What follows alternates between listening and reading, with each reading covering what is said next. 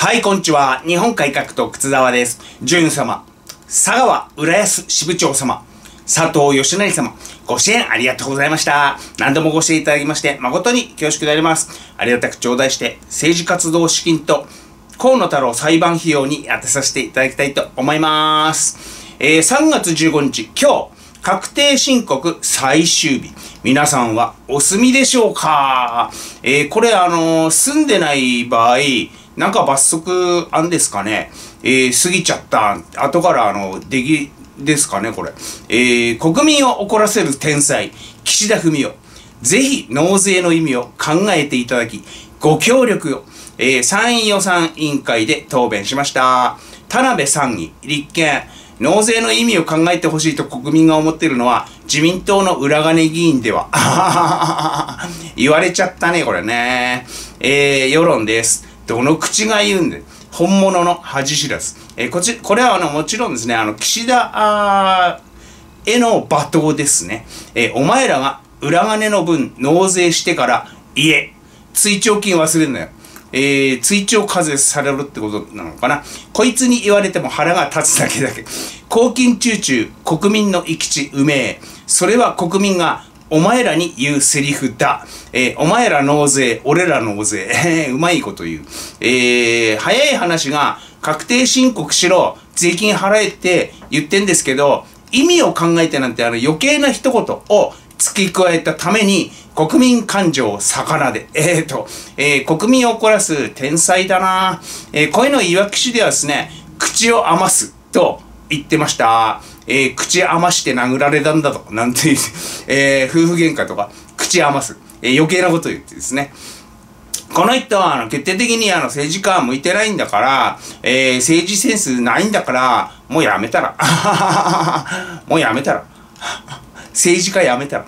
えー鈴木財務大臣、えー過去にこんなこと言ってましたね。納税するしないは議員個人の判断とか言って、また炎上してましたけど、派閥からのバックをですね、資金管理団体の収入として、収支報告に記載するならば、何も問題なかったんだよ。自分の懐に入れないんでね。記載せずに行方不明にして、懐に入れるは脱税でしょうよ。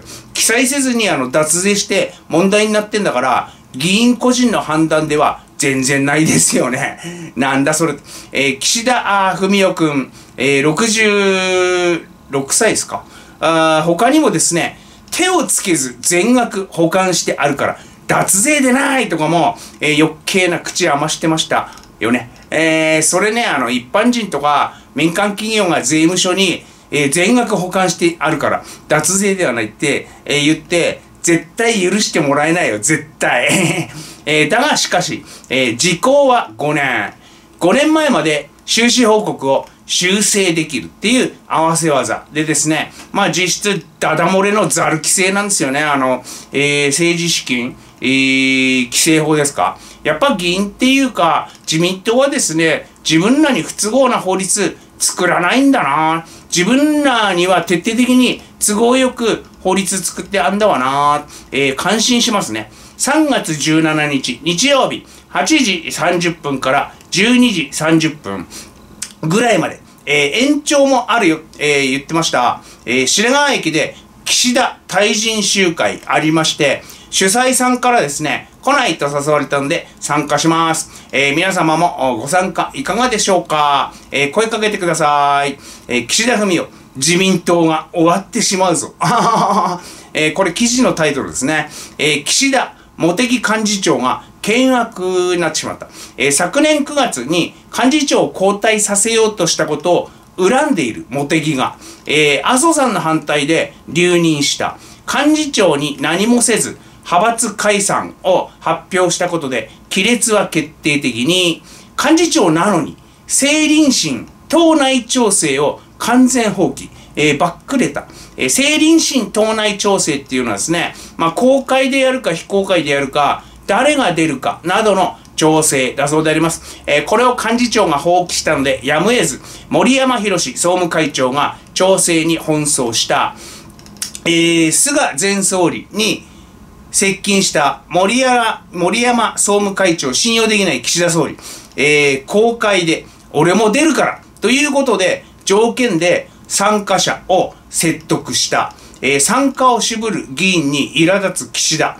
予算成立が遅れたら自民党が終わってしまうぞ。と周囲に漏らしていた、えー、だそうであります。世論です。終わらせてんの？お前だろ。もう終わってるよ。いつまでしがみついてんの？えー、はよ終わるや。もうドロドロに腐ってんじゃねえの？終わってないと思ってんのはお前だけ。おい、終わらせていいよ、もう。えー、その終わってしまうぞに、えー、皆さんすげえ食いついてましたんですけど、総理は今ですね、まあ自分に逆らった茂木幹事長のあの更迭を画策してるらしいんですけど、仕事をしないんじゃしゃあないね。茂木幹事長、仕事しないんじゃしゃあないよね。えー、茂木幹事長はですね、あの、河野と一緒になって、エリ・アルフィアっていう元のあの中国共産党員の機械姿勢を大応援してた物知らずで昭和の議員で有害です、こいつ。えー、総理は茂木の首切りよりも他にやることあるだろうって私は思うんですけれども、まあまあ、あの、ちっちゃい男だから、あの、自分に逆らったとか、そういうことが非常に気になるんでしょうね。ちっちゃい男だから。えー、自民党が終わってしまうじゃなくて、岸田が終わってんだよね。支持率真っ逆さまで、回復の材料、皆無だしね。えー、今すぐ高市総理とかなったら、支持率上がって思うぞ。お前が落とした自民党への支持率も上がって思うぞ。何言ってもあの国民を怒らせるし、政治センスゼロ。皆無。えー、茂木は次の総裁選に出る気満々なんだって。えー、ですけど、こいつダメですからね。あの、石破と同じく、なんも分かってない昭和の自民党ですからね。えー、東京地裁、NHK 未契約割増金払え、初判決が出てしまいました。えー、世論です。まだテレビ持ってんのかよ。もうテレビ捨てる。自民党が与党のうちは NHK のやりたい放題は終わらない。2倍ってサラ金よりえぐいな。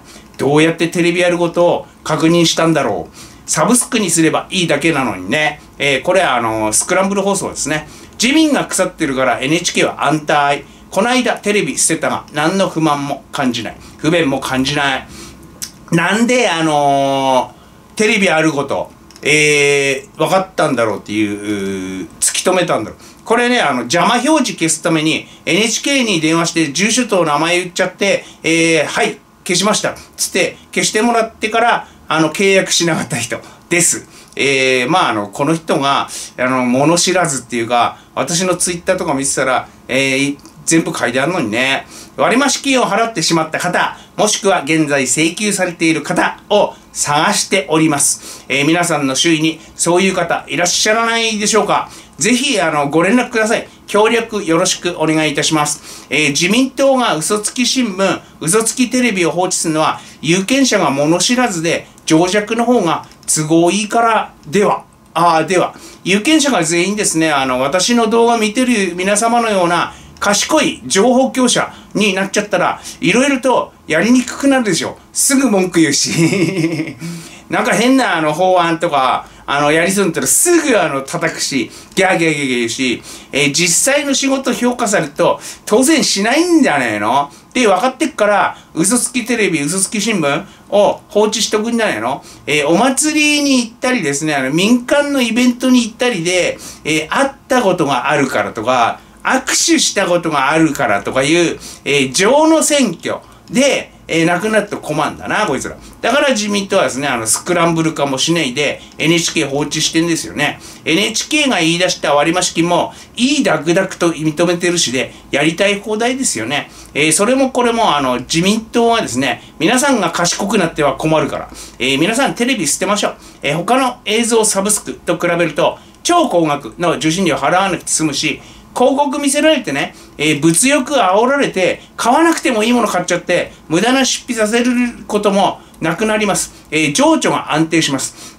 あとは、あの、素晴らしい、あの、女性であるとか、えー、かっこいい男性であるとかを見せつけられて、で、あの、それと、あの、お近づきになれない自分を、あのー、が嫌になっちゃって鬱になるとか、えー、素晴らしい車とか家とか、旅行とか見せつけられて、あのー、手に入んないから嫌になっちゃうとか、そんなこともなくなります。えー、テレビを捨てて情緒を安定させましょう。日本改革党靴沢の主張であります。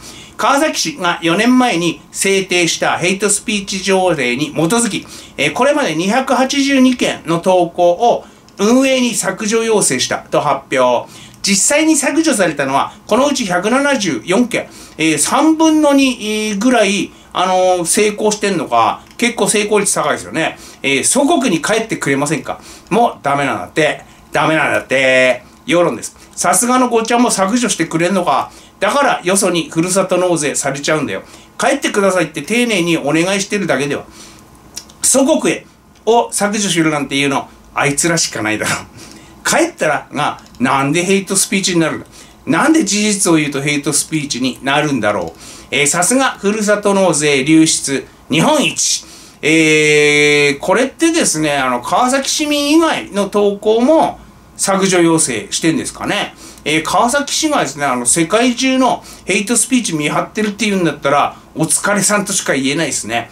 えー、法律のあの、属地主義っていう、属地主義に合わないって思うんですけどね。それともあの、川崎市民川崎住民に対する投稿っていうのが明らかなものだけ削除要請してんでしょうか。何にしてもですね、あの役所の仕事増えて、職員さん迷惑だし、納税してる人、税金かかるしで迷惑だし、えー、たまったもんじゃないですね。えー、どこの国とは言わんが、川崎市へ、川崎市ヘイトスピーチ削除要請犯が反応しそうな投稿を予想します。えー、あれ？平気は？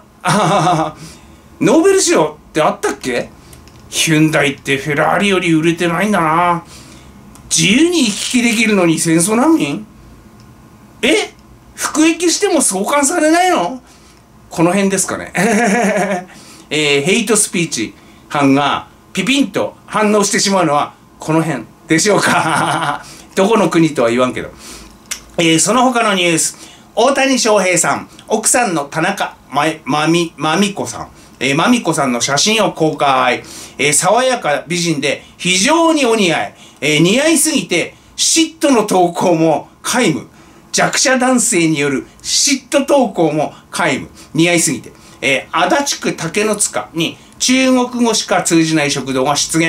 それを嬉しそうにフジテレビが放送。フジテレビはあの本当に倒産するまでわかんないんだね。目が覚めないんだね。まあ、フジなんか誰も見てねえからどうでもいいんですけどね。えー、池袋北口にはすでに看板もメニューも中国語もオンリーっていう店が何軒もありますよ。すでに。えー、足立区はあの中国人住民が10年で倍。1万6千人になったそうで、やばいっすね、これね。チャイナタウンとか、えー、作られちゃって、日本人入っていけないような雰囲気になっちゃったらやばいよな。えー、韓国の作家、キム・ジンミョン、えー、キム・ジンミョン、いずれな、テレビ番組で、漢字の起源は韓国と主張。えー、じゃあなんで戦後、自ら漢字を使わないようにしようっつって、アングルだけにしちゃったんだよっていう話なんですね。えー、あとあの、それだったら、漢字じゃなくて漢字じゃねえのおかしいですよ。何言ってんだって。えー、宇宙の起源は韓国。とも言ってたんで、もうそれでいいよ。漢字の起源は韓国で、いいよもう。っていう感じですね。えー、というわけで日曜日はあの、よろしくお願いいたします。えー、あとはあの、チャンネル登録もよろしくお願いします。デトックスジャパン。